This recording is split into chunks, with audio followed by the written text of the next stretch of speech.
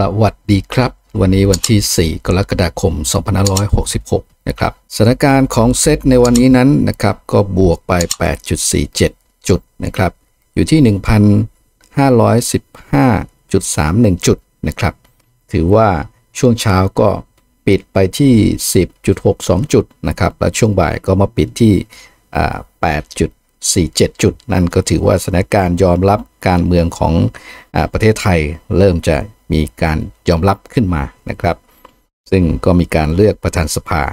ถัดไปก็คือจะเป็นการเลือกนายกนะครับ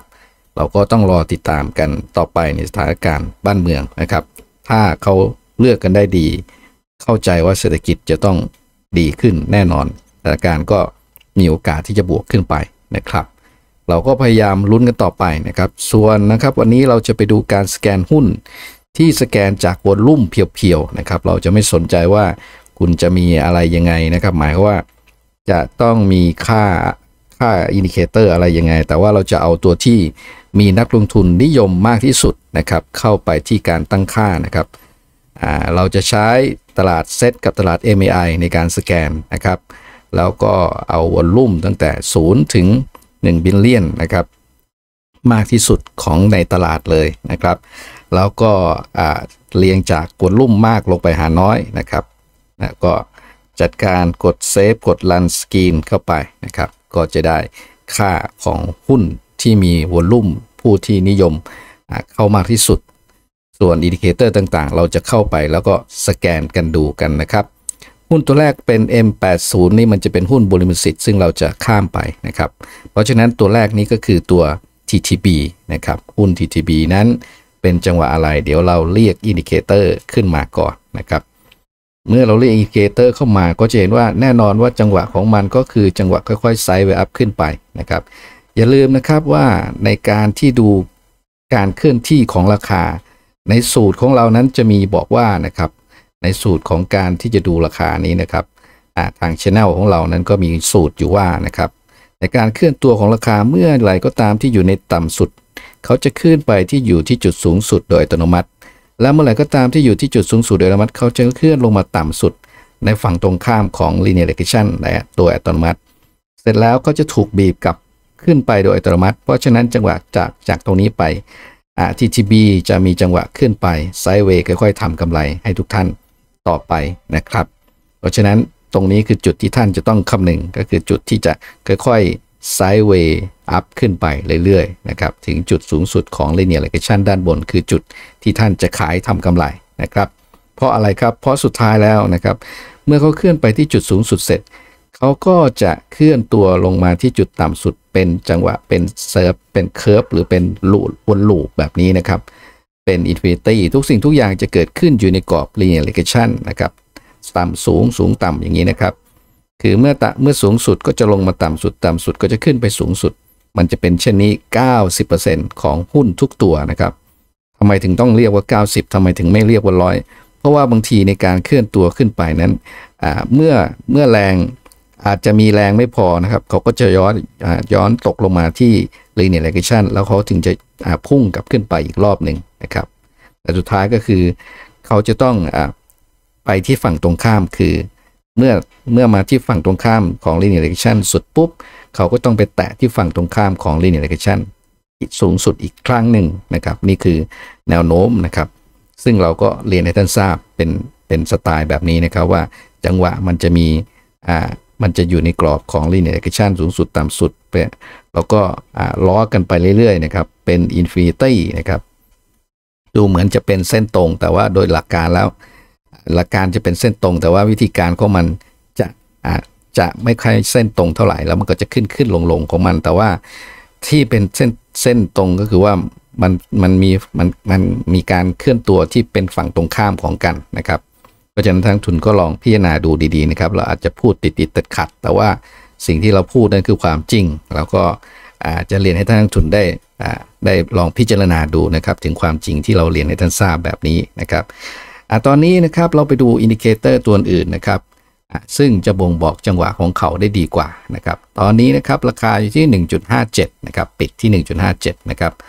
สำหรับเซตในวันนี้นะครับก็ปิดเข้าไปแล้วนะครับ จังหวะ MACD ก็ดูเหมือนว่าจะค่อยๆ โค้งกลับขึ้นไปนะครับ ค่อยๆ โค้งและไซด์เวย์ขึ้นไป RSI ก็กำลังค่อย ๆ ชี้ขึ้นอยู่ที่ 49 ก็ถือว่าเป็นจังหวะที่จะไซด์เวย์อัพขึ้นไป แล้วก็วอลลุ่มก็เข้ามาวันนี้เข้ามาที่ 441 ล้านนะครับ มันเป็นมิลเลียนนะครับ ก็เลยเป็น 441 ล้านนะครับสำหรับตรงนี้นะครับ มีวอลุ่มเข้านะครับ แต่ว่าตัวลุ่มนักทุนต่างประเทศนั้นก็ต้องรอดูอ่านหนึ่งทุ่มวันนี้นะครับว่ามีนักทุนต่างประเทศให้ความสนใจเท่าไหร่นะครับ เพื่อยืนยันว่านักทุนต่างประเทศยังให้ความสำคัญต่อหุ้นตัวนี้นะครับเวลาหนึ่งทุ่มคอยดูกันนะครับ แต่ว่าทางช anel ไม่ได้รอแล้วก็เอานำมาให้ดูนะครับ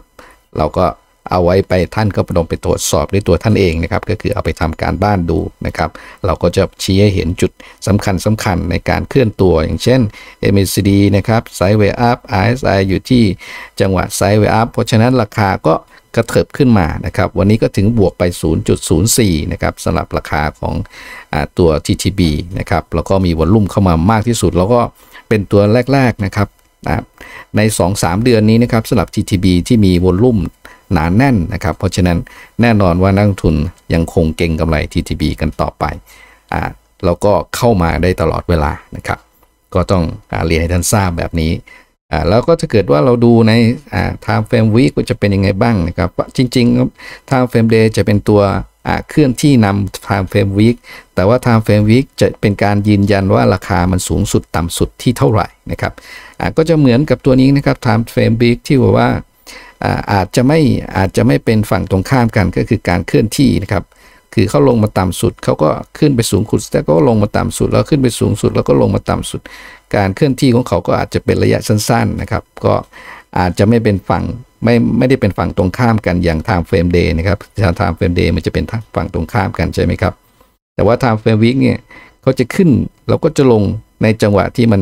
สั้นกว่าเดิมนะครับ แล้วเราก็จะเห็นว่าจังหวะของ time frame week จังหวะถัดไปคือจะไปที่ 1.1.80 นะครับ เพราะฉะนั้นราคาตอนนี้อยู่ที่ 1.57 ก็จะทะลุค่อยๆไซด์เวย์ขึ้นไปที่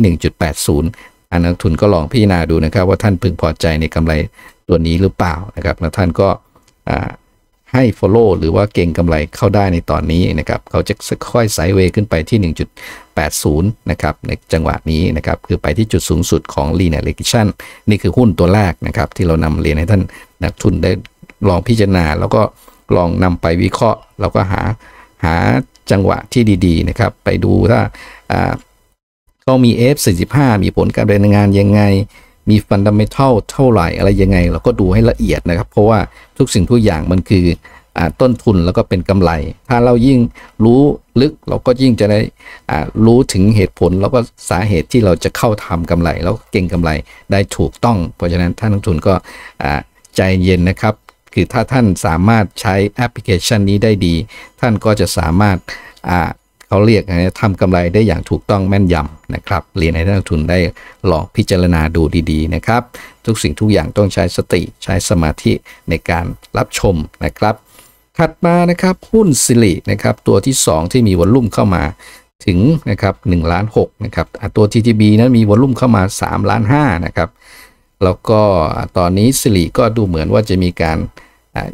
ไซด์เวย์ออกด้านข้างนะครับของสิรินะครับดูจังหวะของเขานะครับสิริก็จะเป็นจังหวะให้ค่อยไซด์เวย์ขึ้นไปได้ที่linear regression ด้านบนนะครับเพราะอะไรครับ เพราะเขาลงมาแตะ linear regression ด้านล่างเสร็จ จังหวะถัดไปเขาต้องขึ้นไปแตะที่ linear regression ด้านบน แล้วการเคลื่อนตัวของเขานะครับ ตรงนี้เป็นการเปิดกระโดดที่เป็นสีเขียว เปิดกระโดดที่เป็นสีเขียวก็คือราคามันจะต้อง sideway แล้วพุ่งขึ้นไปนะครับ sideway ขึ้นพุ่งขึ้นไปยังไงครับ ตอนนี้ Bollinger Band บีบตัวเข้ามาหากันนะครับดูการบีบตัวเข้ามาหากันแต่ละครั้งนะครับราคาเขาจะต้องเลือกข้างนะครับ ถ้าเขาเลือกข้างฝั่งขาขึ้น แน่นอนว่าจังหวะถัดไปเขาจะพุ่งกระจายขึ้นไปด้านบน เพราะฉะนั้น การเบียดตัวเข้ามากันก็หมายความว่า ตอนนี้ราคาจะเริ่มจะพุ่งแล้วนะครับ คือต้องต้องสังเกตสิริให้ดีนะครับ ถ้าเกิดวันมีการเลือกตั้งเกิดเลือกตั้งขึ้นมาได้สวยงาม เพราะฉะนั้นแน่นอนว่าสิริอาจจะมีแรงพุ่งทะยานขึ้นไปนะครับ ถ้าเกิดว่าการเลือกนายกรัฐมนตรีนั้นมีมีมีส่วนเกี่ยวข้องกับสิรินะครับ ฉะนั้นแน่นอนราคาก็จะพุ่งขึ้นไปนะครับ ก็จะไซด์เวย์อัพขึ้นไปถึง 2 บาทนะครับ ต้องติดตามต้องจับตาดูสิริให้ดีนะครับ เพราะว่าวันนี้มีวอลุ่มเข้าล้าน6นะครับจากนะครับดูขาเข้าของวอลลุ่มนะครับเข้าที่ถ้าถ้าดูตรงนี้ก็คือจะเป็น1ล้าน1ล้าน170 78 ล้านนะครับ ถ้าดูจากจากหัวข้อของ indicator นะครับ แล้วก็นักทุนภายในก็ ทยอยทยอยทยอยเข้านะครับ แต่ว่าเราจะรู้จริงๆหนึ่งทุ่มนะครับ ดูว่ามี volume เข้าหรือเปล่านะครับ เสร็จแล้วดู MACD นะครับ จังหวะของเขาก็กำลังจะชี้ขึ้นนะครับ แม้ว่ามันเป็นย่อตัวนะครับ เป็นการเทขาย แต่ว่าลักษณะของไส้เทียนนะครับ แท่งเทียนที่มีไส้เทียนยาวจุดด้านล่างเขาบอกว่า ในวันถัดไปก็มีโอกาสที่จะพุ่งขึ้นไปนะครับมีโอกาสอยู่ประมาณสัก 70%นะครับที่ราคาจะพุ่งขึ้น แล้วก็ค่อยๆ sideway ขึ้นไปที่ deviation สูงสุดนะครับตอนนี้ก็คือว่ามีการย่อตัวแล้วขายทำกำไรลงไปนะครับ เพราะฉะนั้น RSI ก็ชี้ลงนะครับ แต่ว่าลงอยู่ที่ 57 ลงที่ 57 ก็หมายความว่าเขามีโอกาสที่จะดีดกลับขึ้นไปที่ overแล้วก็สามารถที่ยืดราคาพุ่งขึ้นไปได้นะครับ เพราะฉะนั้นนักทุนก็ลอง พิจารณาดูดีๆนะครับ เพราะว่าตัวนี้ยังคงเป็นจังหวะ sideway up นะครับ ถ้าดูตาม frame week นะครับตาม frame week จะเป็นตัวดูภาพหลักๆนะครับ แนวโน้มใหญ่ๆนะครับว่าจะเป็นจังหวะอะไรนะครับ เพราะฉะนั้นถ้าเกิด time frame day นะครับเป็นตัวนำแล้วก็ time frame week เป็นตัวตาม เพราะฉะนั้น time frame week จะเป็นตัวสนับสนุนให้ time frame day นะ เป็นไปอย่างไรนะครับ ถ้าเราเข้าดูตรงนี้นะครับก็เห็นว่าเขาเริ่มบีบตัวเข้ามาหาการของบรูจแบนนะครับเขาเริ่มบีบตัวเข้ามาหาการของบรูจแนเพื่ออะไรครับ เมื่อไหร่ก็ตามที่เขาบีบตัวเข้ามาหากันเราดูตรงนี้นะครับด้านล่างตรงตรงด้านล่างนะครับเห็นไหมครับว่าเมื่อไหร่ก็ตามที่เขาบีบตัวเข้ามาหากันเขาจะเลือกข้าง ถ้าเขาเลือกข้างเป็นฝั่งขาขึ้น แน่นอนราคามันจะพุ่งกระฉูดขึ้นไป และทำให้ราคาของสิรินั้นนะครับค่อยๆไซด์เวย์ขึ้นไปที่ 2 บาท 2.5 2.7 2.9 ในที่สุดนะครับเขาจะไซด์เวย์อัพขึ้นไปนะครับ ก็ท่านก็ลองดูดีๆนะครับ ถ้าเกิดว่าตอนนี้ก็คือว่าถ้าเกิดเราแค่ซื้อนะครับ หรือว่าค่าแค่เก็งกำไรไว้ที่ประมาณ 1.5 กว่าๆนี่ ถือว่าเราซื้อได้ถูกแล้วนะครับ เพราะจังหวะถัดไปเขาจะค่อยๆ sideway up และพุ่งขึ้นไป นี่คือแนวโน้มนะครับของสิรินะครับในในชีวิตอันใกล้นี้นะครับ แล้วก็ MACD ก็ยังคง sideway ออกด้านข้างถึงมองออกว่าจะ sideway up ขึ้นไปในที่สุด แล้วก็ RSI ก็อยู่ที่ 61 นะครับ ถือว่าเป็นจังหวะขาขึ้นนะครับ รอแค่วอลลุ่มเข้ามาแค่นั้นนะครับ ทั้ง 2 ทั้งวอลลุ่มภายในประเทศ แล้วก็วอลลุ่มต่างประเทศนะครับ ตัวนี้ก็เป็นจังหวะให้มาลุ้นกันต่อไปนะครับ จับตาดูสิริให้ดีนะครับ เพราะว่าเขามีการบีบตัวเข้ามาหากันของบลูชแบนแสดงว่าเริ่มแล้วนะครับ เริ่มที่จะจับตาแล้วถ้าเกิดว่า เขาอาจยังคงไซด์เวย์แบบนี้ไปทางด้านข้างถึง 1 เดือนหรือ 2 เดือน ราคาจะพุ่งแรงพุ่งขึ้นไปที่ 2.90 บาทเลยก็อาจจะเป็นไปได้นะครับ อันนี้คือสิริ time frame week นะครับ ถ้าเกิดท่านนักทุนเก็งกำไร time frame day ก็มีโอกาสที่จะพุ่งขึ้นไปได้เช่นเดียวกันนะครับนักทุนก็ลองพิจารณาดูนะครับใจเย็นนะครับท่านต้องตัดสินใจแล้วก็เลือกที่จะเก็งกำไรตัวหนึ่งตัวใดหรือแล้วแต่ที่ท่านจะมีทุนนะครับ ท่านก็ลองพิจารณาดูนะครับว่าอตอนนี้นั้นเป็นจังหวะอะไรนะครับ เราก็บอกว่าเขากำลังจะเป็นกระทิงนะครับ เพราะฉะนั้นถ้าดูจากการเลือกข้างของการบีบตัวเข้าไปขาการของบูลชแบนนะครับราคามันจะพุ่งขึ้นไป ถ้าเขายืนอยู่เหนือกึ่งกลางบูลชแบนนะครับก็เรียนให้ท่านได้รับทราบกันนะครับ ถัดมานะครับตัวที่3นะครับคือ TPL นะครับ TPL นะครับวันนี้ก็ราคาก็ค่อยๆ ดูเหมือนว่าอันนี้เป็น time frame week นะครับราคาก็ดูเหมือนว่าจะค่อยๆพุ่งขึ้นนะครับ หลังจากที่เขาเปิดตัวออกมา แล้วก็ราคาร่วงลงมานะครับ แล้วก็กำลังตัดสินใจนะครับ ซึ่งถ้าถ้าเกิดว่าดูอย่างนี้เราก็จะไม่เห็นว่าจังหวะของ indicator นั้นบ่งบอกอะไรนะครับ เพราะว่ามันเพิ่งมีไม่กี่วันนะครับสำหรับ TPL นะครับเพราะฉะนั้นเราก็จะขอข้ามตัว TPL ไปนะครับ แต่ก่อนข้ามไปเราก็จะบอกว่าจังหวะของการเคลื่อนตัวของราคานั้น เป็นโดจินะครับซึ่งกำลังจัดสินใจว่าจะขึ้นต่อไปหรือจะทำยังไงต่อไปนะครับ เราก็มันสามารถทั้งขึ้นและลงได้นะครับ คือหุ้นที่เป็น IPO ที่แบบนี้คือไม่กี่วันเราก็จะบอกท่านไม่ได้ แต่ว่าถ้าเราดูดูตรงนี้ก็เห็นว่า MACD ยังคงชี้ขึ้น นั่นก็หมายความว่าราคาอาจจะมีโอกาสพลิกกลับพุ่งขึ้นไปก็ได้นะครับ วันนี้นั้นนะครับมีวอลลุ่มเข้ามา1ล้าน4นะครับสำหรับตัว TPL TPL นะครับ แล้วก็ราคาปิดอยู่ที่ 2.38 นะครับ ก็เรียนให้นักทุนได้ทราบของความเคลื่อนไหวในราคาที่มีวอลุ่มเข้ามาเยอะนะครับ นักทุนให้ความสนใจ เพราะว่าเป็นหุ้นที่ IPO ก็คือกำลังกำลังดูกันอยู่นะครับ ว่าราคาจะขึ้นขึ้นหรือจะลงลงกันนะครับ ก็แต่ว่ามันก็อยู่ที่ทางนักทุนหรืออยู่ที่วอลลุ่มเข้ามาในแต่ละวันนะครับ ก็เรียนให้ท่านทราบแบบนี้ ถัดมานะครับ WHA นะครับ WHA นั้นก็ดูเหมือนว่าจะค่อยๆไซด์เวย์ขึ้นไปนะครับ เพราะอะไรครับ เพราะเขามีการแตะด้านล่างนะครับ คือเขาเขาต้องแตะด้านล่างตรงนี้นะครับเขาแตะที่ linear regression ด้านล่างเสร็จเขาก็จะไซด์เวย์ขึ้นไปแตะ linear regression ด้านบนนะครับ มันดูกันง่ายๆอย่างนี้ครับ ดูหุ้นนะครับ 90%ในการเคลื่อนตัวของราคานะครับ มันก็จะพุ่งขึ้นไปแล้วแตะ อย่างตัวนี้นะครับ จังหวะของเขาก็คือ อเขาพุ่งขึ้นจากที่เขาแตะตรงนี้ด้านล่าง แล้วเขาก็พุ่งไปแตะด้านบนตรงนี้ แล้วมันก็จะเป็นการขึ้นลงฝั่งตรงข้ามไซด์เวย์ขึ้นไปนะครับ ก็จะเป็นจังหวะไซด์เวฟขึ้นไปนะครับท่านก็ลองพิจารณาดูดีๆนะครับว่าเราได้เรียนให้ให้ท่านเห็นจังหวะการเคลื่อนตัวแบบนี้นะครับ เมื่อไหร่ก็ตามที่เขา เข้าไปอยู่ในกรอบ linear action ต่ำสุดเขาก็จะพุ่งขึ้นไปในกรอบ linear action สูงสุด เมื่อแตะ linear action สูงสุดเขาก็จะลงมาแตะกรอบด้านล่างของ linear action ต่ำสุด เมื่อแตะกรอบ linear linear action ต่ำสุดเขาก็จะราคาก็จะไซด์เวย์ขึ้นไปไปแตะที่ linear action สูงสุด ซึ่งมันเป็นเรื่องปกติธรรมดาของ loop cycle ของราคาของหุ้นนะครับ นี่คือ loop cycle ของเขานะครับ ชีวิตของของของของ cycle ของของหุ้นก็จะเป็นเช่นนี้นะครับ สูงสุดขึ้นไปต่ำสุดขึ้นไปสูงสุด สูงสุดลงมาต่ำสุดต่ำสุดขึ้นไปสูงสุด คือมันจะเป็นฝั่งตรงข้ามกันตลอดเวลา ดูเหมือนว่าจะเป็น sine wave เป็นคลื่นขึ้นลงอย่างนี้สลับไปตลอดเวลานะครับเป็น infinity ไปทางขวามือนะครับท่านนักทุนก็ลองพิจารณาดูนะครับ เราเล่นแค่ว่าเรารู้จังหวะของมันขึ้นลงก็พอนะครับ รู้แค่จังหวะขึ้นลงคือ ต่ำสุด เมื่อมันต่ำสุดก็มันก็ขึ้นไปที่สูงสุด เราก็เทขายที่สูงสุดนะครับ เทขายที่สูงสุดเสร็จ มันก็จะ sideway down ลงมาที่ที่ต่ำสุด แต่ว่ามันจะยก low ยก high เพราะว่าจังหวะของมันนั้น sideway up ขึ้นไป เวลาเราเล่นหุ้นที่เป็นจังหวะ sideway up แบบนี้นะครับ เราก็จะทำทำกำไรได้อย่างง่าย ๆนะครับ ดูวิธีการทำกำไรนะครับ ก็คือว่า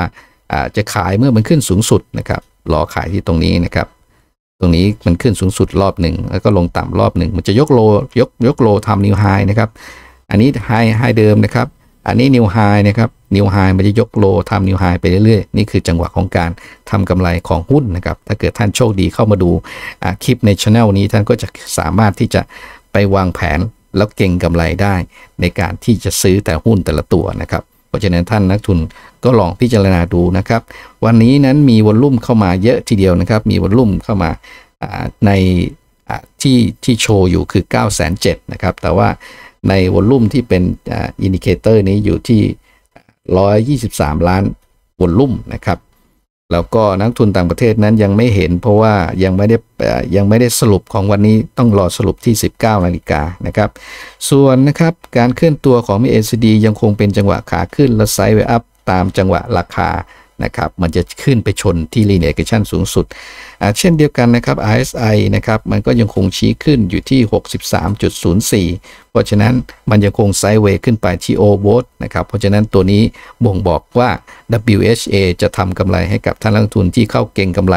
ในราคาที่ 4.74 ขึ้นไปที่ราคา 4.88 หรือราคา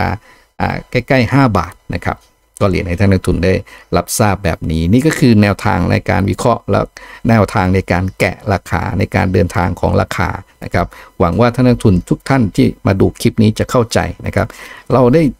มีความจริงใจแล้วก็ความเปิดเผยข้อมูลที่แท้จริงในการดูนะครับ ท่านก็ลองนำไปไปไปใช้ดูนะครับ ว่ามันจะเป็นอย่างที่เราเรียนให้ท่านทราบหรือเปล่า แล้วในหุ้นแต่ละตัวเนี่ยมันมีจังหวะทรายขึ้นลงขึ้นลงแบบนี้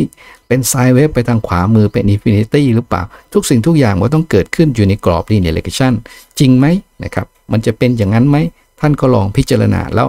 ก็ลองอ่าลองเก็งกำไรดูนะครับ เมื่อท่านรู้จุดต่ำสุด ท่านก็รู้จุดสูงสุด เมื่อรู้จุดสูงสุด เราก็รู้จุดที่จะต้องขาย ซึ่งถ้าเรารู้แบบนี้มันจะยิ่งทำให้เราได้รวยเร็วขึ้นนะครับ คือซื้อที่มันต่ำสุด แล้วก็รอให้มันขึ้นไปที่จุดสูงสุดกัดฟันถือทนรอให้มัน ขึ้นไปที่จุดสูงสุด แล้วก็ขายเมื่อมันเมื่อไปถึงจุดสูงสุด แล้วมันก็จะย่อตัวลงมาพัก แล้วก็มันค่อยขึ้น ค่อยลง ค่อยขึ้นเลยคงค่อยลงสลับกันไปแบบนี้นะครับ ก็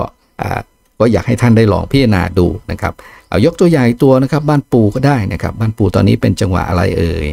บ้านปูนั้นเป็นจังหวะอะไรนะ ดูดีๆก่อนนะครับ จังหวะบ้านปูนั่นก็คือจังหวะที่จะค่อยๆนะครับ อ่าตัวนี้จะเป็นอีกตัวนะครับจะเป็น 10%ที่ที่เขาจะเปลี่ยนแปลงนะครับ อันนี้เราเห็นจังหวะการยกตัวอย่างนะครับอ่าหลายหุ้นจะเป็นอย่างอย่าง WHA คืออ่าขึ้นสุดลงสุดต่ำสุด แต่บ้านปูเขาจะเป็นตัวอีกตัวหนึ่งที่แตกต่างกันออกไป เพราะว่าเขาจะค่อยๆไซด์เวย์ขึ้นไปนะครับเขาจะไม่ไซด์เวย์ลงไปด้านล่างนะครับคือหุ้นมันจะมีข้อแตกต่างตัวนี้คือ ถ้าเกิดเขาไซด์เวย์ไปทางคือคือถ้าเกิดมันเป็นไปตามปกติ มันจะไซด์เวย์ลงมาด้านล่างตรงนี้ใช่ไหมครับ แต่ว่าเขาไม่ปกติตรงที่ว่า เขาจะเปลี่ยนทิศทางของ linear regression นะครับ เขาจะเปลี่ยนทิศทางของ linear regression ก็คือเขาจะเปลี่ยนจากตรงนี้เอาเป็นไซด์เวดาวใช่ไหมครับ คือเขาจะเปลี่ยนเป็นไซด์เวอัพนะครับ เพราะฉะนั้นราคาเขาจะต้องไซด์เวออกด้านข้างแล้วก็พุ่งออกด้านข้างนะครับ เพื่อเปลี่ยนแปลงราคาให้เป็นจังหวะขาขึ้นนะครับ ดังนั้นตัวนี้สำคัญนะครับสำหรับบ้านปูนะครับ จังหวะตัวนี้การเคลื่อนที่ของราคาก็จะค่อยๆ สูงขึ้นไปเรื่อยๆนะครับตอนนี้ก็ถือว่าราคาต่ำนะครับ อยู่ที่ 9 บาทนี่ถือว่าต่ำนะครับแล้วเพราะว่าอะไรครับเพราะว่าจังหวะถัดๆไปนั้นราคาจะขึ้นไปที่ 11 บาท 12 บาท 13 บาท 14 บาท ในอนาคตของบ้านปูนะครับ เราก็เรียนให้ท่านทราบแบบนี้ เพราะอะไรครับ MACD ยังคงสายเวฟด้านข้างถึงชี้ขึ้นนะครับ RSI ชี้ขึ้นนะครับ เพราะฉะนั้นจะเป็นจังหวะค่อยๆ ราคาค่อยๆ สูงขึ้นไปเรื่อยๆนะครับหวังว่าในวันถัดไปราคาจะไซด์เวย์ออกด้านข้างขึ้นต่อไปนะครับเพราะอะไรครับ เพราะว่ามันจะเปลี่ยนแกน linear regression แต่ถ้าเกิดว่าราคามันไม่สามารถที่จะทนเราก็ไม่สามารถที่จะขึ้นไปต่อนะครับ ราคามันจะย่อลงมานะครับ มันจะย่อลงมาที่ฝั่งตรงข้าม ของการขึ้นไปของ linear regression เพราะฉะนั้นนะครับเราก็ต้องมาลุ้นช่วยกันนะครับ ให้ราคาของมันนั้นไซด์เวย์ต่อไปด้านข้าง เพราะว่าตอนนี้มันบีบตัวเข้ามาหากันของบริจแบนซึ่งบ่งบอกว่ามันจะมีแรงพุ่งทะยานขึ้นไป ตัวนี้อาจจะพุ่งขึ้นไปที่เส้น2ร้อยวัน แล้วก็ไปชนแล้วก็ย่อตัวลงมาแล้วก่อนที่จะพุ่งทะลุขึ้นไป นี่คือแนวโน้มและวิธีการที่เราเรียนในทันซาว่าบ้านปู่จะเป็นเช่นนั้นนะครับ เพราะฉะนั้น ท่านก็จำคลิปนี้เอาไว้นะครับ ว่าจังหวะของมันจะเป็นเช่นนี้ แล้วกลับมาดูว่ามันเป็นจริงอย่างที่เราเรียนให้ท่านทราบหรือเปล่านะครับ นี่คือบทพิสูจน์อีกตัวหนึ่งว่าของเราจะแม่นหรือไม่แม่น ต้องมารอดูว่าบ้านปูนั้น จะเปลี่ยนทิศทางอย่างที่เราเรียนให้ท่านทราบหรือเปล่านะครับ อย่าลืมคลิปนี้นะครับ ท่านต้องเซฟแล้วก็กดบันทึกเอาไว้ก็ได้หรืออเอาไปนำดูว่า เราเรียนให้ท่านทราบการวิเคราะห์ต่าง ๆ นี้มันเป็นไปอย่างที่เราเรียนให้ท่านทราบหรือเปล่า ถ้าไม่ใช่ท่านก็ต่อไปก็คงความเชื่อถือของเราก็ลดลงไป แต่ถ้ามันเป็นใช่ขึ้นมา แล้วมันเป็นไปอย่างที่เราบอกก็คือว่ามันไซเวย์ขึ้นไปแล้วถ้าเกิดมันไม่ไซเวย์ขึ้นไป มันไซเวย์ลงมาตรงข้ามฝั่งตรงข้ามอีกเราแทงไว้ 2 วิธีถามว่าถ้าอย่างนี้มันก็เหมือนเหมือนกับว่ายังไงมันออกไปยังไงมันก็ถูกใช่ไหมครับ แต่ว่าในสิ่งที่มันถูกก็คือว่าถ้ามันเป็น เป็นไปอย่างที่เราบอกก็คือมันจะ sideway ออกด้านข้างถึงราคาพุ่งขึ้นไปนะครับแล้วมันจะเปลี่ยนแกน linear linear regression ใน sideway up ขึ้นไปด้วย นี่คือการเปลี่ยนทิศทางในการเคลื่อนตัวเดิมทีมันเป็น sideway down ใช่ไหมครับต่อไปมันเป็น sideway up นะครับ sideway up ขึ้นไป เพราะนั้นเราก็จะเป็นตัวเป็น channel ที่บอกว่าราคาบ้านปูกำลังจะกลับคืนคืนขึ้นมานะครับแล้วกลับไปที่ 11 บาท 12 บาท 13 บาท ในที่สุดนะครับ เพราะนั้นท่านก็ต้องลองติดตามแล้วก็ดูแล้วก็ลุ้นกันต่อไป ถ้าเกิดท่านท่านใดที่สนใจหรือเข้าเก่งกำไรเอาไว้ ก็ขอให้ท่านทำกำไรได้อย่างสะสมนะครับอย่างมากมายตามที่ท่านต้องการทั้งหมดทั้งมวลนี้เราก็นำเรียนให้ท่านด้วยความจริงใจนะครับ เราก็ขอให้ท่านนั้นลองนำไปพิจารณาแล้วทำการบ้านต่อไปนะครับด้วยความเคารพนะครับท่านนักทุนที่เคารพครับสำหรับคลิปนี้ก็ขอให้ท่านนั้นกดแชร์กดถูกใจกด subscribe กดกระดิ่งแจ้งเตือนนะครับแล้วก็กราบขอบพระคุณสำหรับท่านสมาชิกที่กรุณาโดเนทเข้ามาด้วยการสมัครสมาชิกรายเดือนนะครับกราบขอบพระคุณอย่างสูงนะครับ ไว้พบกันในคลิปถัดไปนะครับ สวัสดีครับ